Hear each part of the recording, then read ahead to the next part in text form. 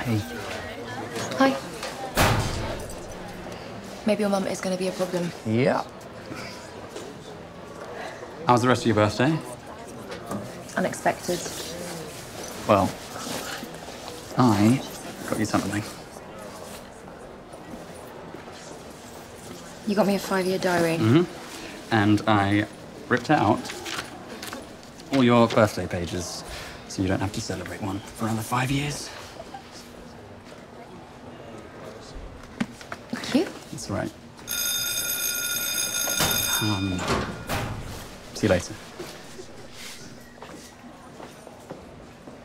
Otis? Uh, I think. I think. What?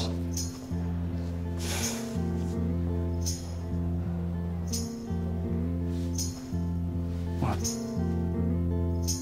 Sometimes I feel so happy. I think I'm gonna have to punch you in the face if you ever buy me a birthday present again, dickhead. Sometimes I feel so sad. Okay. I won't. Sometimes I feel so happy. But mostly you just make me mad. Baby, you just make me mad.